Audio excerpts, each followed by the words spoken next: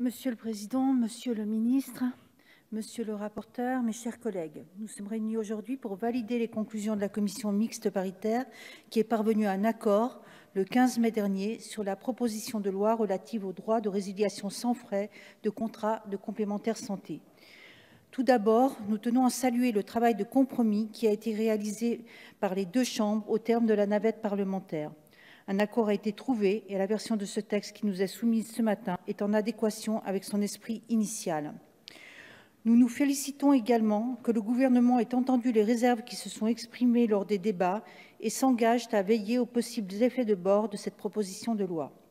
Ainsi, cette proposition de loi constitue une avancée pragmatique et cohérente afin d'assurer une politique tarifaire équitable de la part des organismes de complémentaire santé envers les assurés.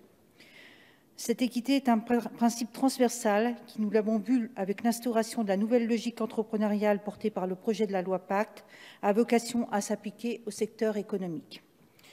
L'égalité des armes entre les assurés et les assureurs constitue la substance même de cette proposition de loi qui permet d'ouvrir la possibilité de résilier sans frais et à tout moment, après la première année de souscription, les contrats de complémentaire santé offerts par les sociétés d'assurance, les instituts de prévoyance et les mutuelles ou leurs unions.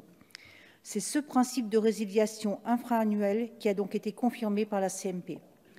Avec l'entrée en vigueur de cette disposition, il n'est pas question de révolutionner le monde de l'assurance et des mutuelles, il s'agit seulement d'offrir à nos concitoyens plus de souplesse, leur offrir des marges de manœuvre plus amples dans la gestion de leurs contrats. Qui plus est, nous pouvons espérer que la pratique tarifaire des organismes complémentaires pourra être raisonnablement encadrée par l'effet de la concurrence. Cette volonté d'une plus grande concurrence n'est pas issue d'une idéologie hasardeuse qui s'imposerait à tous par pur dogme délibéral. Bien au contraire, la situation à laquelle nous sommes confrontés sur ce sujet, les Français en sont témoins, se révèle être injuste. Les assurés ont subi une inflation impressionnante de leurs cotisations qui ont augmenté de plus de 50 depuis 2006. Si cette inflation peut en partie s'expliquer par la hausse des dépenses de santé, il demeure inacceptable que les frais de gestion de certaines complémentaires santé puissent à ce point être revus à la hausse. En effet, une tendance structurelle, a pu être observée depuis 2010 celle d'une hausse deux fois plus rapide des frais de gestion que les montants des remboursements effectués aux assurés. Les organismes complémentaires ont ainsi dépensé 7,2 milliards d'euros en 2016 pour leurs frais de gestion, soit 20% des cotisations. Sur ce total, ce sont plus de 2,8 milliards d'euros qui ont été consacrés aux frais d'acquisition, notamment en publicité. Nous le savons, 95% des Français disposent d'une complémentaire santé. En moyenne, chacun d'entre eux dépense chaque année 700 euros au titre de sa complémentaire santé.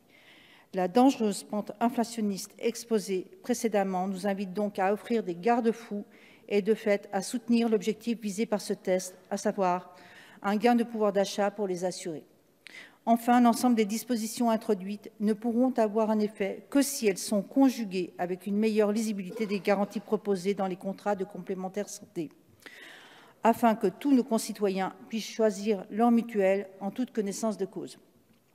Cette lisibilité des contrats de complémentaire santé est un objectif auquel le groupe MoDem s'est toujours montré attaché. À l'heure de la transparence et de l'intensification des flux d'informations, il est primordial que l'ensemble de nos concitoyens puissent s'approprier leurs droits avec plus de facilité. Pour finir, nous maintenons notre regret de l'application tardive au 1er décembre 2020 des mesures contenues dans ce texte. Si nous comprenons bien la nécessaire adaptation de tout un écosystème assurantiel, cela fait peser un risque d'une augmentation des frais par anticipation. Il s'agira de se montrer attentif à cet aspect dans la mise en œuvre de cette loi. En conclusion, le groupe MoDem et apparenté se satisfait du texte proposé à l'issue de la commission paritaire et le soutiendra. Je vous remercie.